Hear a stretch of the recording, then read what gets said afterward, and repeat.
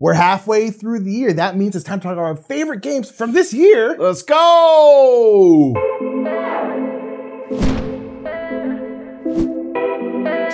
What's up, everybody? My name is Nick. I'm Mike. We are the Brothers Murph, and that's right. We are back for a new top 10 in a new set in a whole The new sitting studio. set. We're in the sitting set. Guess what the sitting set has? Extra cameras. It does have extra cameras. Boom, boom, Boom, boom. You can't even keep up with how many cameras we have. There's three. There's, There's only- there's only There's Uh, anyway, yeah, we are here to talk about the top 10 games of the year so far. So far, yeah. It's our mid-year Oscars awards, um, which everyone's, of course, looking forward to, I'm sure. I'm sure, Uh, because we always find that in the second half of the year with Gen Con, Essen, so many releases coming, uh, it's easy to forget about stuff that happened in the first half of the year. Yeah. And we always have this thing where we're kind of like, did anything even release yet? And then we like Yeah. look back and we're like, oh, oh, there's yeah. actually Tons quite of a games few released, yeah. awesome games to talk about. So we want to give them some love, give them their flowers before we head into the second half of the year properly.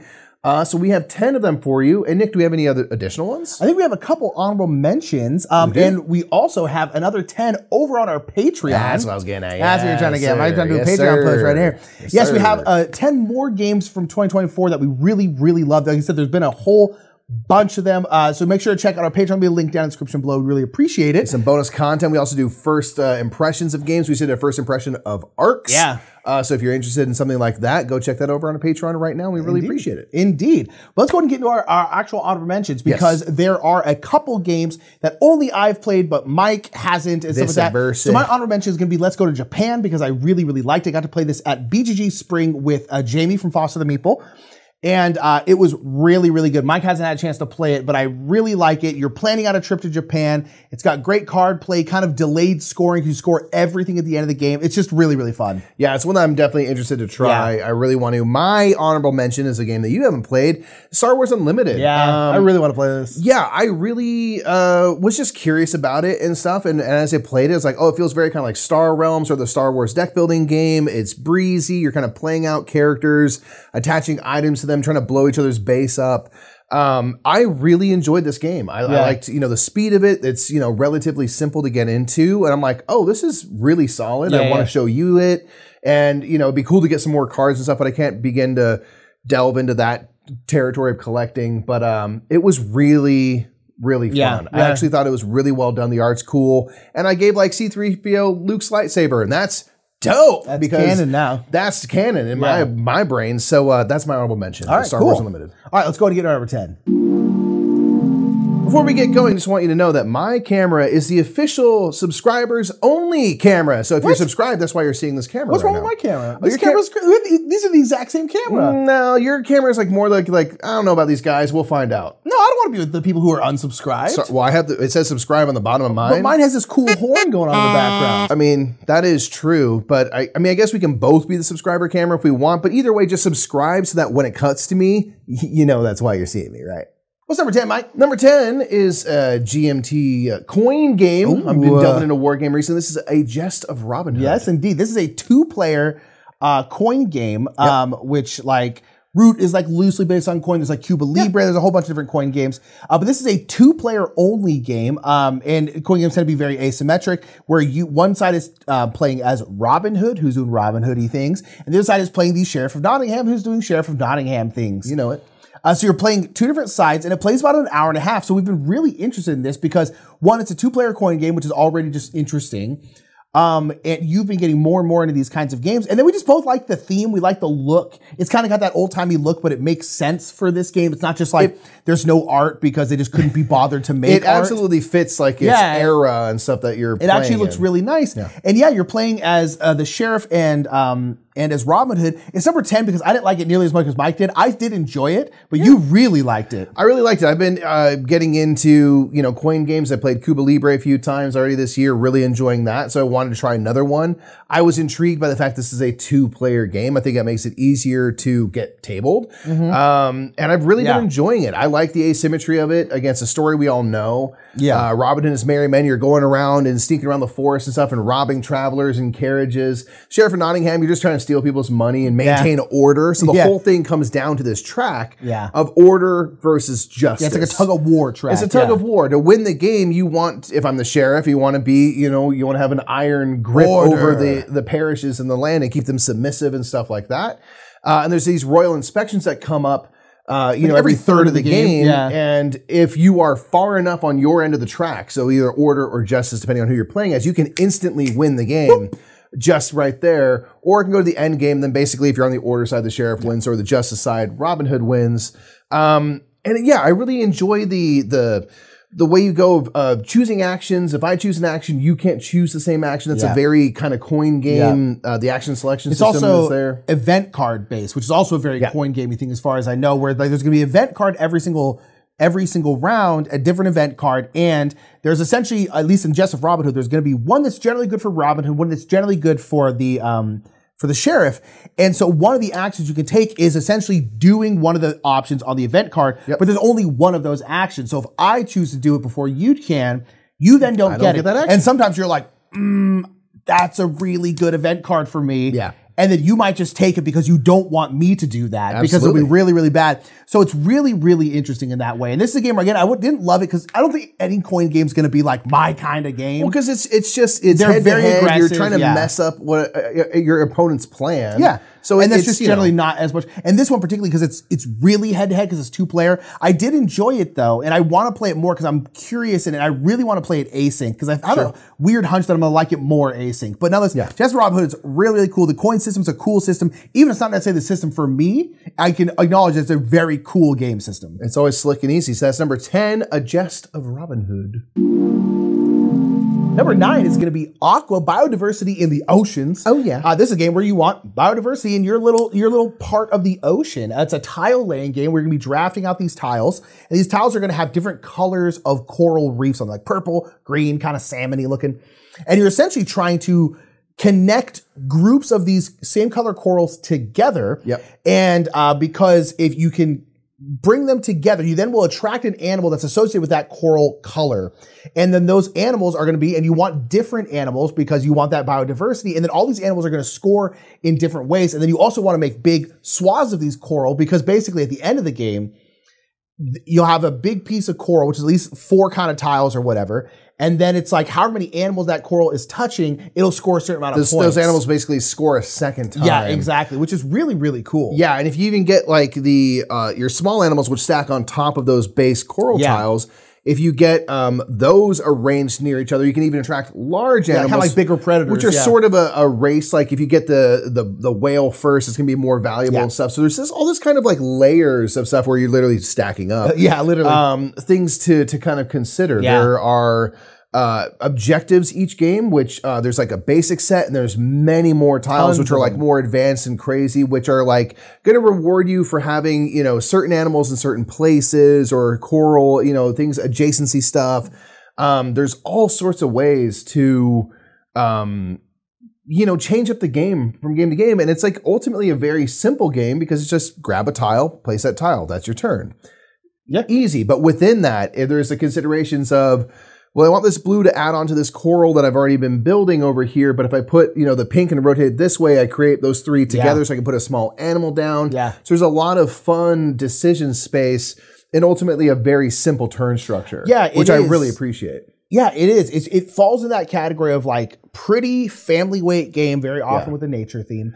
Um, like Cascadia, a lot of these kinds of games, but there's also a lot of there's a lot of variety because you have a bunch of those different scoring stuff. Kind of infinite replayability. Yeah, it's got be- beautiful Vincent Dutrait art, and so it just falls into that category. There's there's more and more games in this category, and it's one of my favorite. Just pretty accessible family weight games. That and this one is absolutely a, a bang on for that. It's super super fun. I think it's great. I love the way it looks. I just really enjoy it. Yeah, and I really appreciate the direction the op has been going. Yes. Uh, they Kind of are more to like the hobby-ish games rather they than have just a, mass market stuff. like this year in particular a large slate of games Yeah. that are that are aimed at hobbyists, Yes. people that are already in the hobby, but they have you know a broad appeal and stuff to hopefully bring people in. and they So could still be like a Target. 100% Or a Walmart of something like course that, they're, right? they're, So they're going like- to live there but like that's Yeah. so important for building the hobby you Yes. need the aquas which are just eye you know the Yeah. beautiful catch the eye um, and they're approachable and stuff but there's some actual real good Yeah, yeah. mechanism gameplay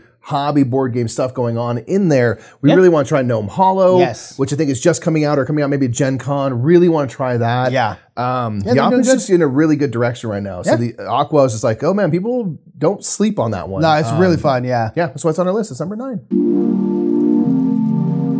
Nick, Ooh, I think we're both about the same joke. What were you about to say? You know what I love, Nick? What is my love? I love combo-tastic roll and writes, baby. Combo freaking wombos. combo wombos like combo wombos and bumping tracks. There you go. Those are two Uh, things we enjoy. We do, that do like these chairs. That was like that, that, you that was pretty that was pretty Liu Kang of you, man. That's pretty dope.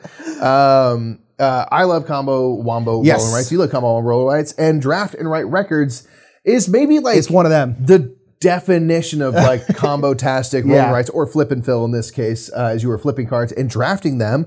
Uh, with an awesome theme. This is a theme where you are a traveling band, you're on tour, you're touring around places, and you are uh, drafting cards, and the card that you take will be kind of like dictate which area Yeah. of your of your Your tour, your band, your whatever. yeah, Yeah, you're adding crew members or a, a musician to your band, or you're kind of working on these rows and columns of a couple different areas, which is you, you know, in the press and Yeah. uh, your relationship with your fans and stuff like that. Uh, and everything in this game comes down to if I do this thing over here, it completes this row or column, which triggers these bonuses, which go over to this other area, Yeah. which bumps this track, which triggers this bonus. Now I can cross off a thing Yeah. with money, so I can add a new crew member. Yeah. On and on and on. it's just like so you. There, uh, there's just turns you'll do that are crazy. They're bonkers, yeah. because you've set certain things up so that when you drop in this one icon uh, on this one area, it just cascades into 15 different Yeah. Um, it's really fun. I love the theme so much. Yeah, we've we've said for many years, and now I feel like it's finally come to fruition. We like music as a theme, whether Yes. that's like like this, where you're a traveling band, whether or not it's like about making music. Um, it, it could be a lot of different stuff, but like music should be used more, and I feel like it's finally starting to get there. You know, Agreed. Yeah. So it's a super fun one if you are into, uh, you know, roll and writes with those combos. And I kind of was like, ah, maybe I'm on my way out with roll and writes. We've just played so many at And there's this just point. At a, at, there's a point where they were like a new thing, and it was a, amazing. And now Yeah. they're just like they're not new anymore. So it's really got to stand out to grab you, and this one does. Draft Re- Records does. So all credit goes to Paula Deming because That's Paula played this game first, knew that we would love it, Yeah. made sure to show it to us on Nick's birthday. And you were totally right, Paula. So uh, congrats to you. Mm-hmm. Uh, thank you for showing us. This one is really great, and it's on our best of year list Yeah. at number eight. So we kind of already talked about Aqua Yeah. being kind of like Cascadia-ish. The next thing we're talking about, Harmonies, is also very Cascadia-ish. Yeah, it is. Uh, it's been compared to Cascadia a lot. Um, Yes, it has. Just because it's like you know you're putting down these tokens in this one, nature and themed, this yeah. nature theme and animals and stuff, but they don't play similarly. It's kind of a mix between. Cascadia and Azul, ultimately. Is how I how I kind of think because you draft these tie these little tokens out. These tokens are going to be like little like cities, mountains, meadows, water, or kind of trees, and tree yeah. trunks, basically. But they're on this little depot, and there's three on each one. And on your turn, you're going to take all three tokens from one depot. That's kind of how it's Azul. Other than that, it's nothing like Azul. But you so you're taking them out, and then you have to put them into your little habitat, whatever it's supposed to be board. Yeah, you're bored. And yeah, and then you're putting out in each of these different kinds of things, like the trees and stuff, they all score individually in their own way. So, like meadows, you want essentially pairs of meadows Yeah, around. two or more connected. Water, you want a long river of water that's all connected. Mountains, you they need to be um, next to other mountains because then you have a mountain range. And you can also stack those up high. Yeah, you get more points if they're higher. Trees, same thing. You can put like brown pieces, which are like the trunk of the tree, and then finish off with a green piece, uh, kind of um, earth style in that way. Yeah, Um, yeah. And then the taller the tree, usually the better. But then on top of that, on your turn, you can also grab one of these scoring cards. Yeah, so it's kind of like animals. Cascadia in that way, where there's all these scoring cards. But the difference is, is that you take a card and then now you are scoring that. And that's essentially going to want some kind of configuration of your pieces on your board. Yeah, it's all spatial adjacency stuff. So it might be uh, you need two mountains that are too high, you know, Yeah. two you know stacked Next up too to a high, meadow. next to a meadow in the middle. And if you do that, you can put uh, your cube on the meadow piece, and then you can't do anything else with that piece. Yeah, you can't put anymore. anything on top. You can't do anything else. But you're removing a cube from your animal card, and the more cubes you remove, the more points you'll score for that animal uh, at the end of the game. And if you remove all the cubes, you get to put it over to your discard pile and, and work on other animals and stuff as well. So it does this great thing that we really, really like in games Yes. where I and you love being pulled in different, Different directions. directions, yeah. So again, all of the the little token types have their own way of scoring, their own native way of scoring.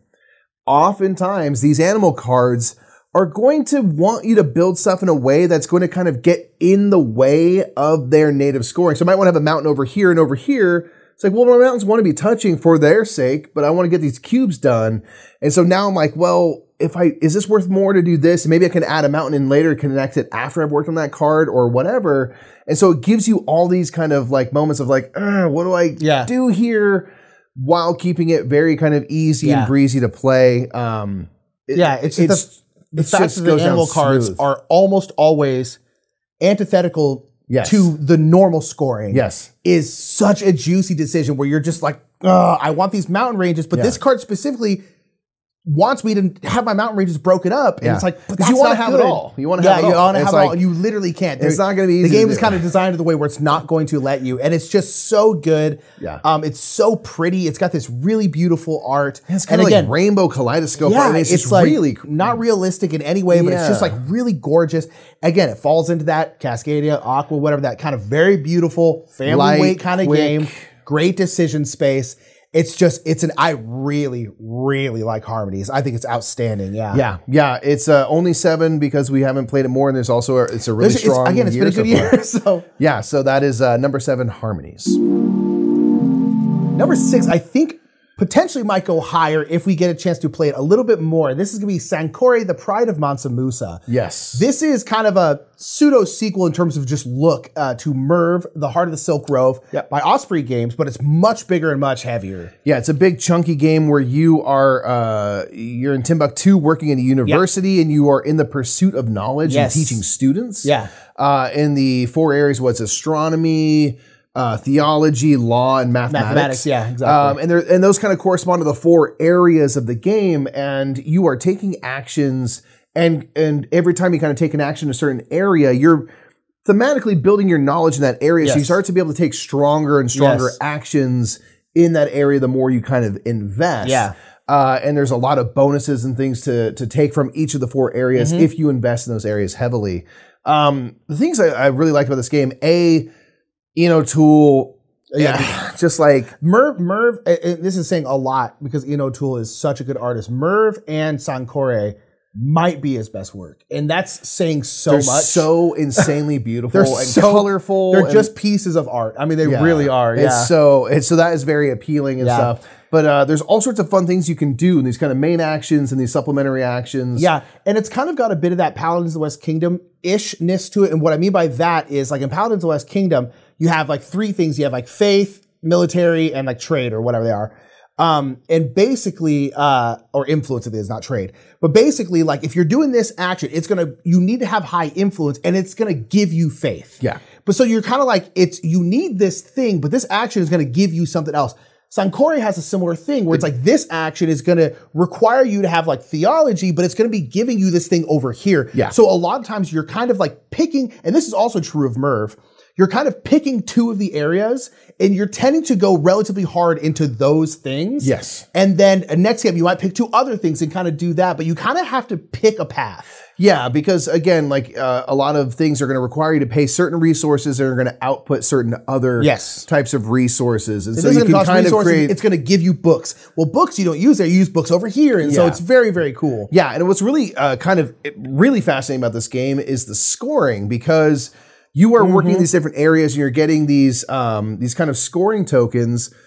But the scoring tokens are not inherently valuable No. to start the game. There's all these books you're collecting, and as you're spending books, you're putting them into a library. Yeah. It's you contributing knowledge to this, this Yeah. you know, the birth of this library. Uh, and there are rows, uh, of, you know, shelves in this library. And at the end of the game, you look at these rows and see which, you know, discipline is the majority, and that's going to add now one point to the value of the mathematics tokens. And so if you have a bunch of those tokens in mathematics, now they're all You want to be worth chucking one books point. the library. Yeah. Yeah, you really want to hit it. So you have the ability to mitigate and control the value of stuff. Or if I see Nick's doing a lot of law things, I'm like, well, I'm not contributing any law books over there. I don't want that to be valuable. I haven't done Yeah. anything in law. Or you can even mooch off someone where Mike's like been pushing law, law, law. So I'm I'll- like, I'll get some okay, tokens. I'll start collecting I'll some get some law tokens, tokens. because like I now can benefit from that too. Yeah. It's really, really interesting. It's a Yeah. great point of kind of that indirect interaction that we tend to really like in games. Where you're kind of like you're not actively being like screw you, I'm taking your stuff, but you're like no, I'm gonna try. I want to benefit off what you've done. yeah, or I'm gonna try and take this majority away from you and stuff like that. Yeah. It's just it's really, really good. And I think this game will climb as we play it more Yeah. because it's great. And the game is built in that way where there's these students you can recruit and Yeah. they kind of go onto your player board and work their way up as they're taking your classes. And every time you recruit students in whatever discipline that's from, the shared knowledge of that area increases. So everybody benefits, which I think is reinforcing the theme really beautifully. Yes. It's like, hey, we all benefit if we're more educated. Yes. This is a good thing. Um, and so I think that's really cool. And mechanically, it's juicy because I'm like, well, I'm going to take a math action next because Yeah. now it's better for me, Now you know, and me, like, yeah. and that's kind of really fun. It's a positive player interaction. Um, th- it's a lot to say about this game. It's big, chunky, Yeah. beautiful, uh, and there's a lot more to explore. So, uh, big sh- shouts out to JonGetsGames, by the way, for The- the doing a video team. about this, which just kind of came across my feed, and I had not heard about this game, and I was just like, "Oh, dang, that's my maybe my most anticipated game of the year so far." Yeah. Uh, and watching your rules video made it much easier to play. So thank you. there we go. Shout out to all these games. So that's Sankore. Uh, let's get the next one. Dang it. What? What happened? You okay? Yeah. Cracked the neck of my violin again. The one you got from Grandma? Yeah, that one. So I gotta freaking get it fixed now. Oh man, I'm sorry. That sucks, dude. You know his name, uh, Luther? Who? Luther. You know the guy like fixes the violins. You know, like it's his specialty. No. Oh, are you are you thinking of a luthier or a luthier? A what? A luthier? Listen, all right, I don't care. You know, you've been to Canada once and you're all French now. I'm talking about Luther, the, the violin fixing dude. He roughs no, him no, in no, and no, finishes them. no. you know. That's that's not a person. It- It's the profession. Luther is Luther's not a, a name of a dude. No, no, Luther is a name. Luthier is a profession. They fix instruments. I'm, I'm talking about like okay, like Idris Elba's in a in a show called Luther, right? Yes. that's what I'm talking about. No, that show is about. He's a cop in that, show. That show. dude fixes cellos in that show. No, he doesn't. What are you I don't talking understand about? the His name man. is Luther. Not everyone named Luther is a Luther. Oh, Oh, my oh, gosh. oh, no, you're talking you about- need to oh, find. oh, I you need the- to find a luthier. Am I not am I not pronouncing Luther correctly? You're talking about oh, it's, it's actually Lex Luthor is the arch villain to Superman. Is that what you're talking about? Gosh, dude, just call Luther. I you sound guess. you sound you sound uncultured right now. You don't know what you're talking about. Well, that looks like it's going to work out fine. They totally understand each other. Man, if only there was a board game that explained luthiers. Oh, Wait, there's one right here by Paverson Game. Luthier, the Art of the Instrument, is a worker placement game where you're placing out your discs and placing out different strength of discs. And these are your family members because you are a family of luthiers and you are getting fancy patrons and you are trying to make instruments for them, repair instruments for them, and perform beautiful music in their favorite styles, which is either Baroque, Romance, or classical. As you build instruments, repair instruments, and perform music, you'll be placing out your tokens into the orchestra, which you'll have a little bit of area control. Luthier will be out on Kickstarter on July 16th. Follow the link in the description down below to follow Luthier on Kickstarter. And a big, big shout out to Paverson Games for sponsoring this top 10. I don't know what that was. Now, number five is the one that technically it's not out yet, but Garphill Games always has their games out on time. So this is gonna be Inventors of the South Tigris. Yes, they've been running uh, uh, their crowdfunding campaigns in the beginning of the year and delivering by the end of the year. Yes, and they always deliver by the end of the year. because it is going to be a 2024 Yes. game, although it is not available yet. Because a lot of games are like, this is coming out 2024. I'm like, mm, is we'll see. I don't feel like it's gonna. ambitious This one, we're 99% sure that it will. I'd don't make us look bad, Shem. Um, but nonetheless, uh, yes, Inventors of the South Tigris is the the um, finale in the South Tigris series, the third game. Um, and it's really, really fun. It's Yeah. a game where you are it- kind of these, this family, this brothers of inventors, and you are just inventing all sorts of weird stuff, but you're all kind of like, you have this like shared infrastructure Yeah. that's being more common in a, one, a lot of Garphill games, but I feel like in a lot of just Euro games in general, where just because I have the idea for this invention, which is me putting the invention out there, Mike can be the one that builds it, and then someone else can be the one that like innovates upon it, or that's actually that's the other inventions game, but to test it and things like that. And so it's this kind of shared infrastructure where like you don't have to do the entire invention process yourself. Sure. You can kind of throw it out there, and someone else like, ooh, I I want I want to get in on that. I'll build it, and then I'll test it, and da da da da. And it's just uh, God, there's a lot going on in this game. yeah, I was about to say, like in this game, there is. It's a big one. It's a Like, big game. It's a big beefy game. the biggest There- Garphill game by I'm not gonna say a massive margin, A but- margin, but, a margin, yeah. It's it's a big one. There's many levers to pull, but it all comes down to kind of those four things you mentioned about coming up with an idea for an invention, building it, testing it, publishing about it. Yeah. Um, and so that kind of drives your your goal. But you have these this kind of pool of, of uh, artisans, these craftsfolk in different areas that are going to help you out with building Yep. things. You're going to be leveling them up. There are tiles you can get to put onto your player board, which you can then activate and do different things with. There's dice placement. There's worker placement. Yep. There really is a ton. Uh, and and you know, You're if going we up could- a we could get- river. you're getting like special powers. There's all There's sorts so of stuff, much stuff in this game. but they're all in service of those four main Yeah. actions. So Yeah, you know, there's all these things you can do to build up your resources and do your stuff, but it's all to kind of work on those inventions. And we really do enjoy that shared infrastructure. To your point of like, oh, you just came up with this idea and that works well. If I build it, I'm gonna get some, you know, some stuff out of this uh, that's gonna be really useful for what I'm trying to do. So I'm Mm-hmm. Gonna build that now and then maybe test it or you test it or whatever. So we really enjoy, you know, I guess opportunities popping up Mm-hmm. that you weren't expecting to give you a chance to kind of pivot yeah. and oh, let me try this thing now. This seems kind of cool. So, um, Inventors of the South Tigris does that really well. And it's kind of fun, like vibe because all the things that you're inventing are like They're silly. like gizmos, I guess, for Mhm. lack of a better word. They're just random things, and they all have the way that works is you have this kind of this board, which is going to be some sort of like adjective. It Yeah. might be flying or whatever, and then you're going to put down this idea. So a flying bucket. It creates these strange, Yeah. like nonsensical things. Horse powered eyeglasses. Yeah. Yeah. and then like stuff like that's just really fun, and which is, is a, a nice thing in a game that is so heavy Yes. to have something that's kind of like It's all just flavor. It doesn't matter, right? Yeah. It's all flavor, yeah, uh, and uh, it kind of fits the whimsy of like these brothers that did invent like random stuff or came up with ideas of things that like don't make sense necessarily, or don't work, or aren't like useful for Yeah, the world. yeah. But like that's cool because the point is the creativity and invention, and um, this game just gives you a lot of ways to go about achieving your goals, which is really cool. It can be feel overwhelming, but here because you have those four main actions, there's enough guidance. Yes. we talked about this with the whole trilogy. Wayfarers to South Tigris completely wide open. Yes. there's no real direction. No, for sure. And, and the, until you create one for yourself. Yeah. Scholars of South Tigris is much more linear. Yeah. You're getting scrolls. You need to get some uh, translators, translate those There's like scrolls. steps to everything. Yeah. This one lands in the middle, where Yeah. it's like you have these four areas, but there's a lot of ways to go about doing Yeah. those things. So it's really kind of a cool spot. Yeah, and hit. you're like, oh, I need a, I needed this resource, and there's just 150 different ways to get that. But it's kind of nice because you're like, you can always get what you need. You just might have to do it in a kind of weird, different try way. be as it's efficient just- as you can. You know? It's just really, really good. It's a really good uh, uh, finale to this trilogy. I mean, the trilogy is so freaking good. Yeah. I'm so excited for the more stuff. But um, nonetheless, that is Inventors of the South Tigris. It real good.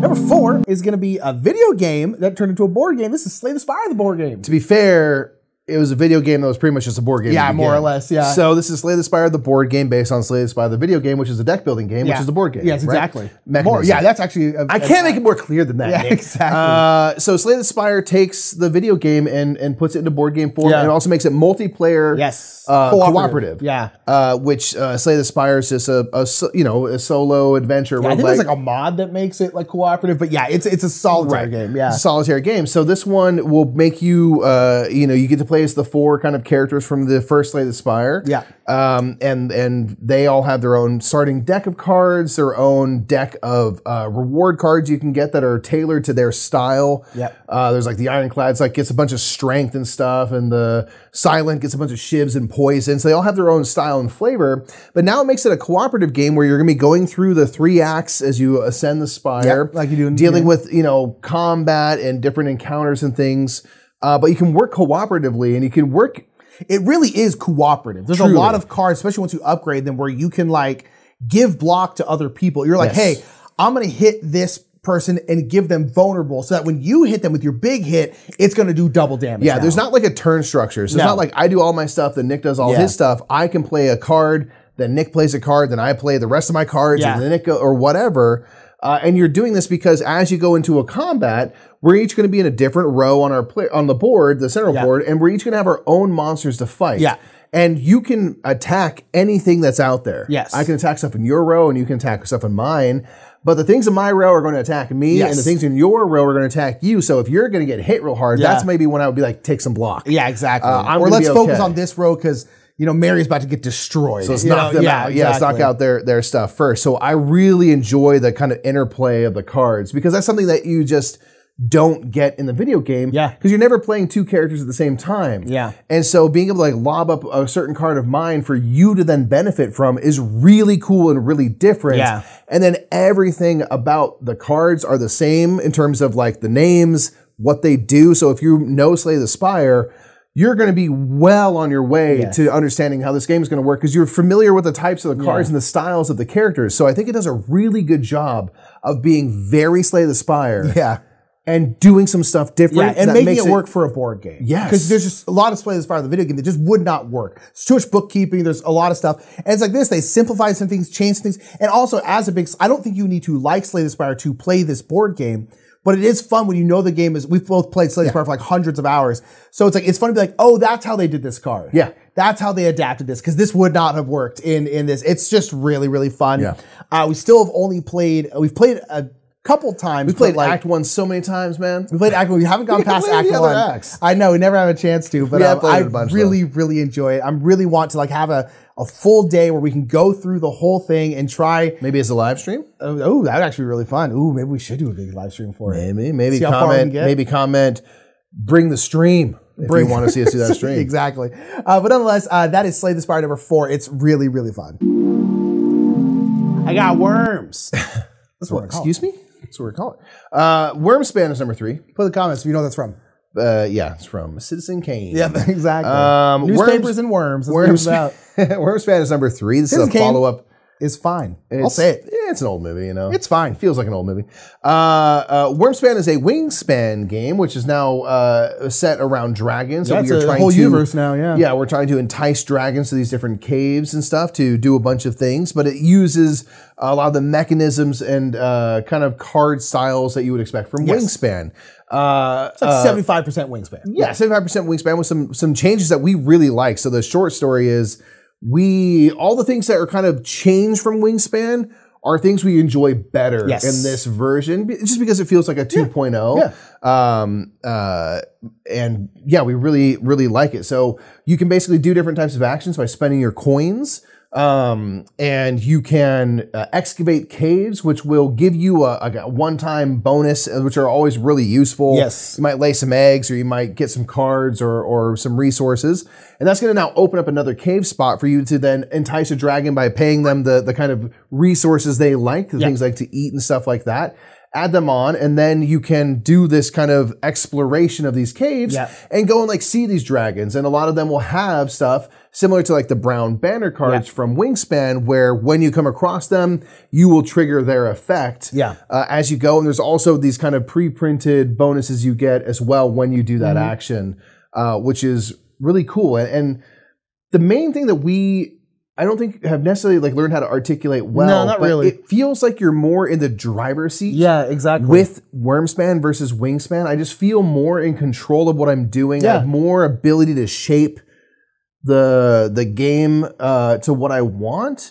Um, and I don't know. Yeah. I don't know necessarily what that even means, but I, I really enjoy just the feeling of when I'm playing this game. Yeah. Again, I just, I just I feel because both of us like Wingspan a lot For sure. and it's Played just it a like ton, I know? just yeah I just feel like I'm I have more control over what I'm doing. Yeah. Um, because one thing about Wingspan and Wyrmspan too, there's there's a billion cards, so you can't really like be like, okay, I'm gonna wait for I'm wait till I get this card, or like the, it's like you just might not. So it's all about pivoting, which is one thing I like about Wingspan. It's like, okay, I'm gonna do this, I'm gonna start doing this stuff now. But I don't know because I think the way with the cave cards when you're excavating, they always give you something cool. I just feel like there's ways to get there's ways to get what you want to get done done. There's more ways to do that. Where you're like, okay, one thing, certain things cost eggs, right? Well, you get an egg every round. Every the start of every round, you always get an egg. So you're kind of like, okay, you're always gonna have one at the beginning of every round. So like that's not a ton, but you're like, okay, cool. I just feel like when you're running your little adventurer through the rows, activating all the rows, because they have those set places that they're gonna go that you can activate. I don't know. It just feels like you can get what you actually need when you're getting like the resources. You're not rolling dice, Yeah, or rather, you you are not rolling dice and then choosing from that. You you're just like, choose a resource. Cool. I need berries. Cool. I roll a bunch of rats. Great. I now I can't get what I need. I just feel like you have more control over everything. Yeah. And I also just feel like it's kind of a little bit more open because of that, because you have like, oh, I need an egg. Okay, there's like definitive ways for me to do that. Okay, I need these specific resources. Okay, there's definitive ways for me to do that. And then like you're like, I'm gonna get a cave card. Okay, you know what? I don't really need to excavate this spot because of the fact that like I'm not planning on putting a dragon there. But on this card, this I, can get a couple things I I want this bonus. Boom. There's a dragon guild that's happening. So whenever you get these guild um you activate these guild symbols. You then move around this. This is going to give you bonuses. And then there's a different guild every game. So uh, two points on this little rondel you're going around. You will get to put one of your cubes out onto this and get some kind of like really big bonus. Like Yeah. there's like lay two eggs and then like play a dragon for free. I mean, just like really big stuff. Yeah, it's definitely high reward. It's just I don't know. It just it I the two ways I can articulate it is like I just feel like I have more control and it feels more open. Yeah. And I don't know, but like I really like Wingspan, but Wyrmspan for me, I think is like completely replaced it. yeah. I uh, I Maybe Wingspan with all the expansions is Sure, more yeah, equivalent, I but like but- base game to base game, to me they're they're just not even that close. I And I, I, really like Wingspan, but I it's just agree. like yeah, I, Yeah. yeah, If I was taking just base game versus just base game, I would choose Wyrmspan. I'd show it. The art's beautiful and stuff, so it's got the high production level you'd expect. Mm-hmm. dragons are cool, you know. Dragons are cool. Um, it's just yeah, a lot of fun stuff nice. in this one. yeah, I don't know. It's, it's, it's just really really good. Yeah. So it's number three, Wyrmspan. This was right here. Where's that from? I don't know. Why is this in here? Anyway, Captain Flip's number two. Uh, this is God, a- Captain Flip's great. Captain Flip's so good, man. Uh, this is Captain a, Flip could have been number one. It's not. It could be. Captain Flip is incredible. Captain Flip is a really simple Yes. tile laying game where you are uh, filling a pirate ship with crew Yeah. for your ship. Um, and they there's like eight types or something like Yeah. that, and they all do slightly slightly different stuff. Some might give you some coins, which are your points right away. Some might be end game scoring. Um, and the entire game hinges On one thing. on one thing. It's when you pull a tile out of a bag, you can see what the tile is, and that has a certain crew member on it. And But you can choose to place that, or you can flip it. If you flip the tile, it will have a different crew member on the backside. And the kind of tricky bit is if you flip that tile, you have now committed to the flip. You cannot go back. Nope. So you have to stay with your new crew member. So it all comes down to do I take what I know I have, or do I see what's on the other side? Yeah. And that is always It's the most Going delicious decision. Yeah, it's it's the most delicious decision. and and the the the the crew, you know, the the breakup of them. There's a bunch of tiles you'll never like memorize. Like, oh, this is for sure has the thing. You'll never know. So it's always gonna be Yes. mysterious. It's always gonna be fun. There's different ways, you know, like the cook. When you place them, you get one coin for every crew in that row Yeah. that you place, including themselves. So, So you're like, well, there's only two people in this row, so he'd be worth three coins, which is okay, but it's not great. But I have no idea what's on the other side. So do I flip the crew? You flip the crew, Yeah. and you're, you're the cook, and you're just like, I really didn't need that. Yeah. you know, you're like, oh, Exactly. Okay, that's not useful at all. Okay. Yeah, it's really fun. There's other uh, characters, the monkey, which can reflip tiles that have already been placed. There's just like the types of things that the, the tiles do are are fun and Yeah, interesting. but It's simple. bright, kind of cartoony, silly pirate art. Yeah. Um, it's really fun. And I'm like, I just one of those things where I'm like beauty and simplicity. It's Yeah. just do you take the tile or do you flip the tile? Yeah, because that that decision every single time, every single turn of that game, that decision is interesting. Yeah. Sometimes you're like, oh, this is exactly what I needed. Cool. I'm not even thinking about flipping it. Bam. But usually you're kind of like, Hmm, maybe. you're like trying to trying to look trying to look under there. There. It's just like it's interesting every single time, and there's a whole bunch of crew in the back. Like I said, so you're never gonna like memorize them. And then on top of that, this is something they didn't even need to do. But there's like four different player mats. Yep, the four different ships and stuff, which have different breakdowns. Yeah, there's like one you're like on a deserted island, and they all are slightly different. Nothing huge, nothing Yeah. crazy, but, But you're like, oh, cool. We have like four different maps we can play on Yeah, too. there's a nice bit of variety there. this game is stupidly good. It's so just replayable. You Yes. can play it again and again and again. It's quick. It's 15 minutes. it's um, such a good gateway game. Absolutely. Like because you can teach this to anybody, and it's just that that decision is just like everyone gets it. Do you take what you know, or you roll them dice? yeah, there's a great player age. It shows you how all the crew works. It's very easy to get so into. good. Very easy to love, and that's important with board games. Yes. Easy to love games. But it's only our number two, Nick. We do have one that's higher. Nick, This one was just like it's this, right? it's this, right? We literally played it last night just We on a did. whim, and it was a good reminder of like, dude, this game is elite. This is Shipwrights of the North Sea Redux. Yeah, the Redux. the redo that that uh, Garphill Games did um, that we played late last year and is now delivering and delivered to people. Um, this it's so good. it's so fun. It's just it's just like tailor made for us. it is You so know, like this is a game that's very openly uh, uh, uh, inspired by It's a Wonderful World, which is a card drafting game. it's like in my top ten games of all time. Yeah, like we love that game a lot. And this is the- also a card drafting game where you are getting these different types of cards. There's like five types of cards. Uh, there's townsfolk. Yep. Uh, buildings you can build. Uh, there's of course long ships, which is your main thing in the game. You're trying to do is Yep. build these long ships. There's craftspeople that help you build and Jarls. those uh, long ships, and Jarls, which are your leaders, which help you bump up these tracks. And you're going to draft out six of these per round. Yep. And then you're going to choose what to do with these cards. You And have to use them. You have to you use can't them ever keep guards or anything like that. Well, you yeah, kind other of than can with your ships. Yeah, and stuff exactly. you can work on. Um, but you are saving up uh, to build those, and otherwise using your cards in that round. And what's really fun is like the buildings give you worker placement spots to go to, which can be really cool. Townsfolk can be attached to those buildings to mitigate what those worker placement spots Yeah, do, or you can cooler. discard a townsfolk to just do their ability one time. Yeah. Uh, that's cool. These Jarls help you bump down these tracks, but also all of the cards you get have a, a trash ability where you can discard it to get like a a, a, a resource, a wood. sheep, Yeah, a sheep you know, gold. uh, whatever it might be. Uh, so you can discard it. So you have all these decisions to make of like, what cards am I going to collect because I just want The discard. the iron is going to Yeah. give me. Yeah. Because I'm trying to build this ship Iron's really here. expensive this turn. Yeah. And so you are you are, you know, drafting in this weird way where I'm like, I'm not actually interested in what this card does other than this one Yeah. resource I'm gonna get. But that's a super viable thing because if you got these six cards, you're unlikely to be able to build or make use of all six of them because stuff is expensive. Yeah. And how you use those resources is, you know, you gotta make some tough It's decisions. paramount to the game. Yeah, that's what you're. That's how you build stuff. Yeah. Yeah. So it's just so fun. And it's, It's very so- much a heads down. Yes. You're you're doing all of your stuff after drafting simultaneously. You're not even looking what other people have. No. Like it's it's a hundred percent multiplayer solitaire. Admittedly, so just know that. Yeah, like so I mean, it's and we, we like multiplayer solitaire games. We really do. I got no problem with that. Um, and and Shem, who's the designer, Shem Phillips, uh, was like, yeah, this is multiplayer solitaire. It's heavily inspired by It's Wonderful World, and it's just like it's ways. just so good because all the cards are different. They're all interesting. They do different stuff. You can build these like big crazy engines. You're bumping up these tracks. Going up these tracks gives you more bonuses, more cool stuff.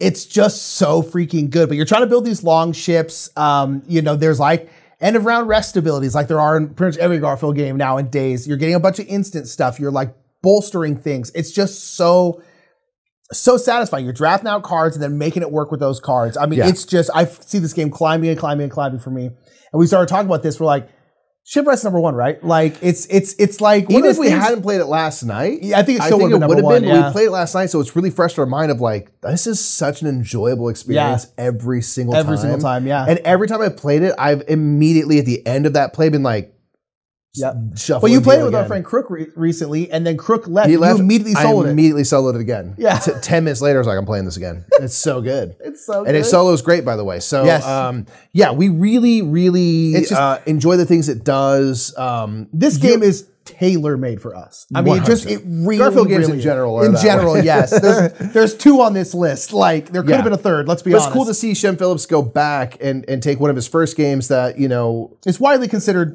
The worst. The, worst one. Yeah. and saying like, oh, I've grown as a designer. I want to do some different stuff. I've been inspired by certain things. Let me see what I can do. And then made like maybe our favorite Garphill, like one of our favorites. It's, like It's- it's gonna be that's interesting. pretty awesome to do. So anyway, those are just ten games from this year so far that we really enjoy. Yeah. There's of course so many more that have come out. and there's so many more so coming more. out. Yeah, like Oh, I'm so excited. I just, man, I just heard there's a White Castle expansion coming out. My hype is high. I don't know when that's coming out, but I'm excited. But if you want to see us talk about more uh, games from this year so far that have come out, Check do Patreon. check out our Patreon. If you got a couple bucks to give, it really helps us out, helps us pay for the studio every single month. Uh, and we really, really appreciate it. So do check that out. yeah, big shout out to Paverson Games for sponsoring this uh, top ten. Boom. We appreciate and, uh, you. Yeah, let us know your favorite games of the year so far down in the comments below. Make sure to subscribe if you haven't already. We already told you to. Do it. Indeed. And uh, yeah, we'll catch you all next time, everybody. Bye, everybody. Bye. Yo, thanks for watching another top 10 from us, the Brothers Murph. Do check out our Patreon and stuff. And uh, big thanks to our channel sponsors, Restoration Games, Board Game Geek, and Garphill Games, and of course, Paverson Games and Luthier. And our month sponsor is Arcus Games. If you want to get you some Storm Raiders, something like that, check out the description of the video for their website.